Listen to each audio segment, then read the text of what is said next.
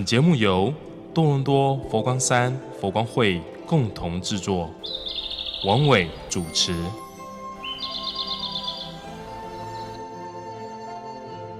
眺望无垠的夜空，忘掉千载的忧愁，在一束智慧的花朵，添几笔随喜的因缘。欢迎您收听今晚的心灵花园。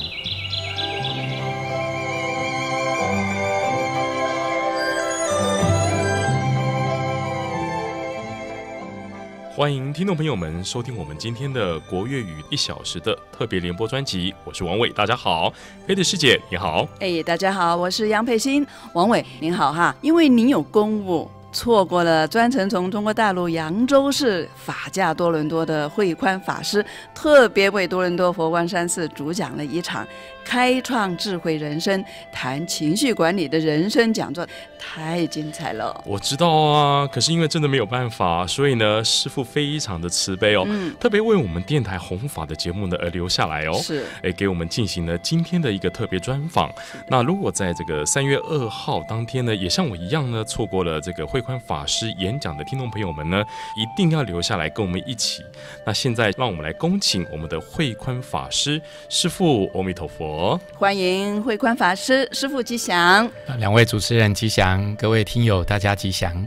那师傅真的很慈悲啊，在百忙之中呢来多伦多。还有呢，其实呢，这个访问呢，我们是录音访问的，因为呢，三月二号做完讲座，三月三号呢，师傅就坐飞机回去了哈。对。那就很谢谢慧宽法师帮我们的心灵花园跟欢喜自在的听众结缘。嗯。那么在这个节目当中呢，我们会就是说天南地北的跟师傅请法。然后呢，希望呢，从聊天之中呢，让听众朋友多一些了解我们的慧宽法师，好不好？嗯，没错啦。哎，其实呢，慧宽法师呢，在这个校园里面呢，有一个称号叫做“校园王子”。对，他就让我想到，其实我小的时候，我妈妈也给我一个称号，你知道吗？嗯哼，哎，叫做“校园浪子”。哎呦，拜托了哈！你看慧宽师傅都笑出来了。当然呢，哎，师傅啊，我也会想告诉您啊。您的多伦多粉丝还不少哦，谢谢。老中青三代都有，啊，我是老的那一代啦。当然啊，我们王伟呢，呃呃，我我是幼儿班那一代的。新年轻最重要啊，没错没错。好，那么我们言归正传啊，师傅啊，第一个问题呢，我很想为我们的听众朋友，请问师傅，听说您是十八岁就出家了哈，那为什么这么小的年纪就决定出家？然后呢？当时我知道您的学业还没有完成的，那是什么因缘让你做这么大的一个决定呢？七十八岁也。不是太小了，大师都十二岁就出家了，所以十八岁已经是成年人了啊。是是。呃，我想其实当时我出家是因为我十五岁学佛，跟着我的父母都一起，全家都到佛光山去参加很多的活动，所以也参加过大专佛学夏令营，参加了两次的短期出家，也常常呢听大师的开示，还有佛光山很多法师的演讲，所以从那里面呢感受到，哎，佛教是一个很好。的一个宗教，呃，我们全家也都是这样信仰。但是那时候还没有想出家，那时候只有想，哎，学佛很好啊，做一个佛教青年很好。但是到了两次短期出家以后，其实对我的影响很大，因为短期出家让我认识，原来出家人不是我们想象的，好像呃，这个很枯燥乏味啊，或者是说每天只是念经就不做其他事情。发现原来出家人要做的事情更多。哦，而且我看着很多法师在讲课，各方面，我自己也觉得，哎，如果我出家，我也可以像他们一样，这样子到处去弘法，到处去。讲课就像我现在所做的事情，就如同我当时出家所想的这个样子。而且当时大师在二十五年前，大师那时候应该是六十三岁。是，我一直都觉得师傅年纪也慢慢的增长了，我们应该要赶紧抓住大师的这个弘法呀，能够追对追追随他的这个脚步啊。所以即使我学业那时候还没有完成，我就跟大师请求我要能够出家，然后大师也同意，所以我后来又再穿着僧服再回到学校去。念书，那那个时候我就想第二个问题就是说，那您出家了要穿僧服啊，回到学校，你的特殊的外形啊，您是怎么样去把自己融合在里面？其实我从十五岁、十六岁学佛以后，我到了十七八岁，跟我的同学都是知道我学佛，是。那就去短期出家，男中要剃头啊所以回来他们也都知道，哎，你暑假去参加短期出家，所以他们对于我出家，我都事先预告了，对对告知他我要出家的事情，所以他们不是先知道，对他们不嗯。是突然间嗯完全不知道我有宗教信仰，然后突然间变成出家人，不是。所以嗯我在学校跟同学相处的关系本来就很好，但是会遇到很多很有趣的事情，比如说嗯。会有陌生的同学，不是我认识的别的科系的，就会 跟你打招呼，然后就跟你说嗯阿弥陀佛。这个善哉善哉啊，然后这个我说你认识我，他说不用认识，你穿的衣服很明显呐、嗯。啊，这个我们都认得你呀、哦，那时候我也出完家要回学校的时候，大师也特别跟我叮咛，要跟同学有更好的互动，因为不能说因为出家了就好像跟同学的关系就让人家对对对，嗯所以其实我在学校基本上人缘还是非常好，是。而且也很用功嘛，所以老师对我的印象也都非常好。啊。嗯，所以呢，可能同学看到这个慧观法师的时候，都想说：“哦，你现在是长期出家，不是短期出家。”那师傅啊，那我们都知道呢，您现在调派到一个新的地方哦，比如说你刚刚才派往去这个扬州哦，那你是如何去适应这个不同环境的呢？对，这个出家人基本上就叫云水生嘛，嗯就像云跟水一样啊，云飘到哪里呢，就到哪里去；水到哪里，流到哪里就往哪里去。所以其实基本上我适应能力还可以，嗯而且我去一个城市会有一个习惯，就是我一定会先去买一张地图。然后就把它贴在我的房间，把每一条路都背起来。背起来以后呢，你是不容易让它变成立体感。那怎么办呢？只要我遇到一个人，我就问他：“你家住哪里呀、他就说：“啊，我住哪一条路。”我就哎，那个路在我的心中就有一个浮哦，现有一个点就对了，对对，哦所以呢，我很快的一个礼拜，我就可以把整个扬州市所有的路都背下来。然后遇到人，我就说哦，你家就在那，换我告诉他啊，你家就在那一条路跟那条路的附近。说法师你太厉害了，你才来扬州一个礼拜，呃反而当地人是不太背路名的。对对对，当地人常会说左左转，再右转，再左转，是是是他不太会讲路名，反而我们很会背这个。所以我觉哦得，既然去一个地方，就尽快的去融入，反而是让自己更快的去适应那个地方的哦生活。是是，那下次我有机会去扬州，万一迷路的话，那我就一定可以打电话找这个慧宽师找慧宽没问题，没问题，没问题。对对对，那我想请问师傅哈，您本来生活在台湾是吗？然后突然之间调到中国大陆，那两面的这个环境可能有些不同就它的？文化差异，对对对，那当时师傅是怎么样去，呃，就说适应啊适应这个环境？嗯呃，我想用适应来讲的话，我倒觉得用理解比较好，就是能够去理解他们其实曾经因为经过了一些呃像文化大革命啊一些事情，嗯。所以它断层了一些中华传统文化，就不像台湾啊、香港、澳门还保有比较好传统文化。不过现在大家都很认真的在学习，开设了很多国学班，很多的这些，他们常常跟我说，法师啊，我们现在在补课，在补，而且都是年纪比较大的五六十岁的人在补这些嗯《论语》啊，呃，这个这个孔孟思想啊，这些呃古文观止等等，所以我觉得其实他们也会越来越进步。本来大家就是同样的中华文化，只是可能有一段时间他们比较没有去学习，所以你用这样子去想，我记得我要调去大陆的时候，师傅就跟我说，你们去啊会很好。我说为什么？他说因为你们会感受到我五十年前我当时来台湾那时候的一种环境，对，比如说很多人看到出家人觉得很奇怪，是。哦，然后呢，他会有很多好奇的问题。问你。现在台湾的人看到法师都不会这样子，他会很亲切。对对对，因为人间佛教很普及了嘛，是是是，所以这个大师说，你们去了，反而你们更能够感受到，在那样的一个环境当中，这个弘法对自己是一种更好的一种历练跟修行。是的，是的，嗯，尤其是大师推崇的那个人间佛教，在中国大陆这个环境，现在其实是很实用的哈。那师傅，现在我们的年轻不是有有些人叫他们做低头一族嘛，那就跟人的沟通啊，我觉得是有很大的障碍。那师傅对这个低头族啊，您是怎么看法？低头族其实像我在上，就是三月二号在多伦多佛光山讲座的时候，我就提醒大家，我说其实科技绝对是带给大家方便，这个是你不可去逆反的，嗯而且不需要说去反对。嗯但是有一个很重要的，不要被科技给绑住了，嗯不要被科技啊这些手机给绑架了。就是嗯你需要用它的时候，你可以善用它；嗯你不要用它的时候，不要动不动五分钟、十分钟就从口袋拿出来。其实就明明没有讯息，脸书也没有人更新，但是自己就会一直划手机，然后就一直觉得，哎，怎么今天都没有什么新的这个 line 给我啊？怎么样子？这个就是变成一种轻微的焦虑的状态。是所以其实科技不是要带给人焦虑，它是要带给你方便。但是方便，就因为大家用的太频繁、太习惯了以后呢对，嗯他反而就会造成说他自己这是心情的这个问题，而且加上他因为都用这些方式沟通。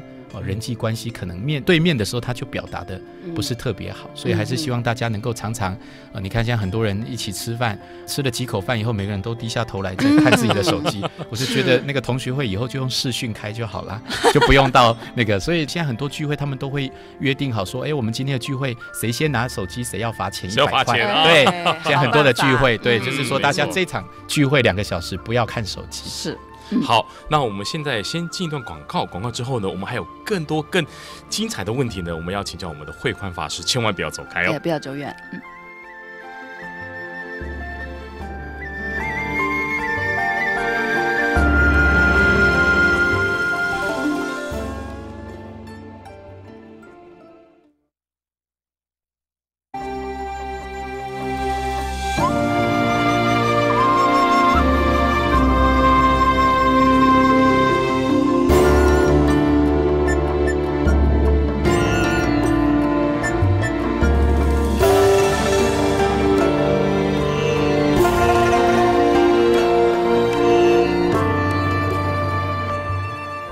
迎各位听众朋友再次回到我们今天的这个心灵花园，还有欢喜自在的联播专辑。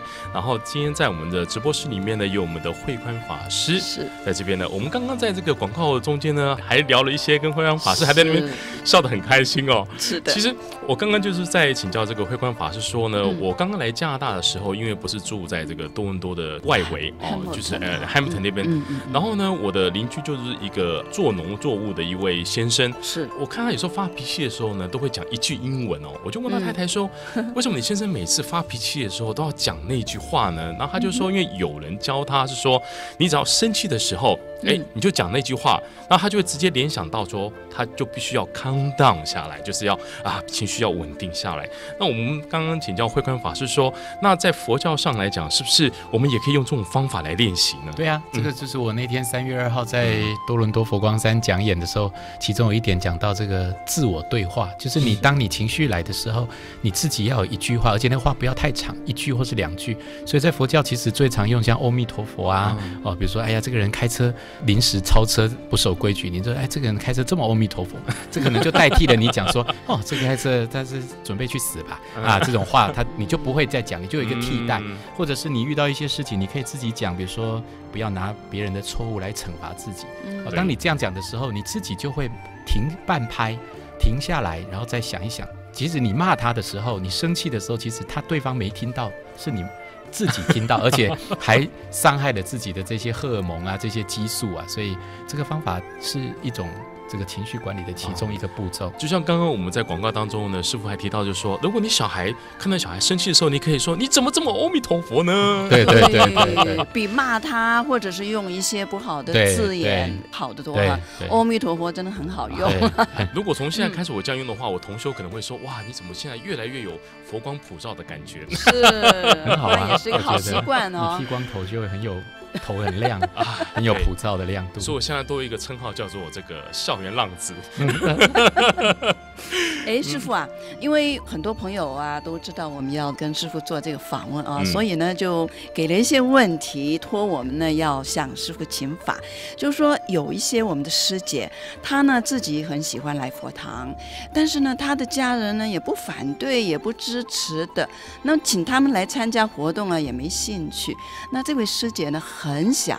就是说，接引他的同修啊、家里的孩子啊、兄弟姐妹啊来佛堂，他应该用什么方法可以成功呢？我觉得最好的方法就是让他来吃饭。或是让他来参加一些我们像义工联谊啊，一些比较属于不是太宗教性太强的，比如说不要一下子就叫他拜佛，他不会 拜；一下子叫他听课，他听的太多佛教冥想睡着了。嗯所以你让他参加像一些联谊会啊、庆生会啊，或者是比如说呃中午要吃饭的时候午斋，他虽然没有参加这个前面的法会，但是快午斋之前你请他来，也许他刚好听到那段这个永固法师开示啊，然后再请他一起吃饭。我觉得很多时候可以用这些方式慢慢的建。轻松一点，对对对啊对对，嗯让他对我们有一些认识，因为他有时候没走进来，他自己会想象，哎，这个这个宗教是怎么样啊？他自己也许他就不是那么样肯定，让他走进来看看，但是不要一下子就叫他参加什么法会啊这些哎仪式，我怕他可能会呃因为不熟悉反而更对，把他弄得拒绝了尴尬，对对对他就不敢来了。对对嗯，那慧根法师啊，像刚刚这个佩蒂斯也提到哈，就说我们可以用这样的方法哈，来这个接引一些家人哈，他们来比如说来佛堂。那有的时候呢，我们也看到我们身边的一些朋友哦，可能他们做一些事情呢，或是说一些话哈，我们可以说不太如法哦，那甚至嗯对这个佛教不是很尊敬哦。嗯那身为我们来讲的话，我们应该要怎么样去面对呢？可不可以你嗯慧光法师给我们一些这个 idea？开始一下其，实我觉得对佛教不尊敬的人哦，其实各位用另外一个方法去看待，其实这种人是很有可能会变成佛教徒。为什么？因为他就是对你有意见，嗯所以这时候你如果能够解决他心中的疑惑，他就能够接触佛教。哦最难度的人呢，就是对佛教都没有任何意见，是不批评也不反对，也那种这样的人反而更难。所以有时候大家不要遇到一些，比如说有些人他有时候对出家人不是那么尊敬，是因为他不理解，所以不要去怪他。但是呢，等到你慢慢能够让他理解了。哦，很多时候他其实反而是更有这个得度的机会啊，而且这个芸芸众生啊，我们不能要求所有的人通通都一定要都是一个模子啊，都是一个样子哦，嗯所以我觉得要有更大的这个智慧啊，这个宽容去接纳更多的人，而且很多人其实曾经可能都对佛教、对宗教有过批评，可是后来都变佛教徒的都很多，是吗？我师傅今天这么讲，就给了我一个新的方向。其实我一直以为他们这些人真的很可怜哦，没机会接触佛法没有 没有，我觉得他们能够，比如说像有人常常就会问我说：“法师，如果全世界人都像你一样去出家，那全世界就没人啦，因为大家都不再生小孩了，就没人。”其实问这样的话的人，就是绝对不会出家的那个。所以我就跟他讲，全世界人都出家，你应该不会出家。出家他说你怎么知道？我 我不要出家，我不要出家。我说对，所以最后会变成你自己一个人就可以生出小孩了，因为就会单性生殖。然后他就觉得，哎呀，好特别哦，法师你。然后之后就开始跟我聊起来，然后慢慢慢慢对佛教就另外一种观感，另外一种这个兴趣。所以这个有时候我们看到人哦，不要一下子就觉得说啊他不尊重我们就拒绝他。我反而觉得有时候你把他当朋友，先把他接纳进来。是是是是。嗯那还有呢，师傅，就是说那一天三月二号的那个讲座，我也在做啊。那听师傅跟我们讲呢，我们要学习这个情绪的表达啊。那请问，怎么样才可以很恰当的表达我们的情绪呢？因为我们有的时候不是专家嘛啊，以为自己表达了情绪，但是其实是错误的表达了，那怎么办？其实我觉得很多时候，尤其我们华人哈、很因为面子的问题啊，所以常常就会没有把自己心里的话让对方了解，是包括你当场的这个心情。比如说像我们有时候这个一个事情，可能你已经很累了啊，那这时候你可能要让对方知道你现在的身体状况，可以适度的去表达。哦但是很多时候，包括跟小孩子的沟通啦、家庭的沟通、夫妻的沟通也是一样。哦我觉得这个表达其实都是要学习。嗯好像我那天举的一个例子，我说，比如说可能太太打电话给先生，因为各位知道，男生跟女生的大脑啊，在一些思考的模式上是不太一样，这个没有什么优缺点，嗯就是对感性、理性、对着重的问题。是不太一样，的对，对比如说女生她很在意结婚周年纪念日，呃，我爸爸妈妈的生日，我们这个恋爱的第一天，很多事情要纪念。可是她这时候打电话给她先生说：“哎，老公，你记得今天是什么日子吗？要提早下班。”很多男生就会直接回答。嗯这个今天什么日子？对啊，不重要啊，不重要，这样他就很难受。如果你可以跟他讲说啊，对，今天你既然打来，一定是一个很重要的日子。啊，那你的老婆一定会说哦，那你记得啊，最近还是有点痴呆症、脑退化症，有点忘记了，还是你说？这个时候他不会生气，因为你已经先同理心，他刚才说今天是一个重要的日子，你也顺着他的意。所以我常常讲说，这个人做情绪表达，做很多的事情，其实都要呃正向的、正向的去表达，让对方能够理解。嗯嗯，这个我学到了。下次我太太打电话来的时候，我就说：“我跟你在一起，每一天都是重要的日子。”哎呦，这个很高干，这个下次我演讲就把王伟的例子拿来。我又学习到了。是吧？那师傅啊，还有就是说，一般来讲哦，像我们在国外来讲，比如说已经跟这个生意上的来往来讲，有很多一些国外的朋友啊，比如说在会议当中，呃，我非常喜欢他们这个外国人的一个他们的方法，就是说在开会的时候，他们我们可以针对一个事情去讨论哈，那有的时候可以讨论的非常激烈，可是在这个会议结束之后呢，大家一样照样出去一起去吃饭呢，还在一起去，好像就好朋友一样哈，就是说他们会。把事情就当做在那个适当的时刻就是解决掉了。之后来讲的话，就是说，哎。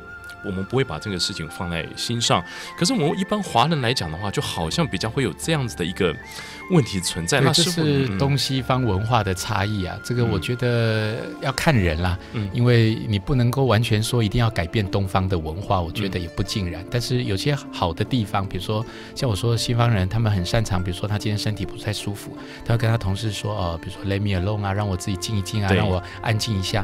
这个华人就不太就会常常会忍住，然后等他同。同事关心几次以后，他就说：“你烦不烦 啊？你没看我今天脸色不好？可是他没没，他就是来关心，但是你又不回答他，到底你是什么样的身体状况？对，没错。对，所以其实我觉得这个就是看你的工作环境。如果你是跟西方人在一起多一点，也许你可以多用这种直接表达；如果是跟东方人，我觉得也不完全说。呃，但是最重要的一个重点就是事情过了。”不要一直放在心里面，嗯，因为放在心里面，其实对自己的伤害也是比较大的。所以事情过了，就尽量能够我们讲讲的活在当下嘛。对，不要说哦，在会议上刚才他批评了我，那我就把他记得，下次我一定要反手反击他一次。我觉得这个 太累人了。对，还要学习怎么样放下哈。对，这是很重要。是，那师傅，我还有一些朋友呢，他们的习惯很奇怪哈，就是说很很有爱心，很喜欢去关怀人。家人呐什么的，但是呢，他每次用的方法都是好像在骂人这样，好像 比如说，哎呀，你干嘛不穿多一点嘛？这么冷的天气，冻死你！这样这这类的话，师傅应该我们怎么样去跟他就是说沟通，希望他下次的话讲的比较柔软一点。这个部分只有他自己愿意改变才有办法。哎，这个这个我们也没有办法，因为大师常讲要给人接受。他讲这样的话，其实一般人听了不舒服，反而就更不能接受。所以这个就是他自己本身从小的教育，他觉得我就是这么直接哦这样子。但是别你直接了，到底别人能不能感受到你的爱心？如果呃你能够再柔软一点，再圆融一点，也许会。呃，更好一些，所以我想，其实，呃，大家能够大师常讲说好话、做好事、存好心啊。既然已经有好心了，为什么不把话？变好话呢？对不对？为什么要讲冻死你呢？对不对？就说哎呀，这个你多穿点衣服啊，比较以免着凉啊，我都好照顾你的，希望多关心你的身体。出发点是好对对对，所以既然存好心了，就做好事跟说好话。嗯，所以听完呃慧光法师的的讲法之后呢，我们在这边呢，我们也呢非常欢喜的呢，请各位千万不要走开，因为我们在广告之后呢，我们将会进到我们的今天的欢喜自在的节目。拜拜。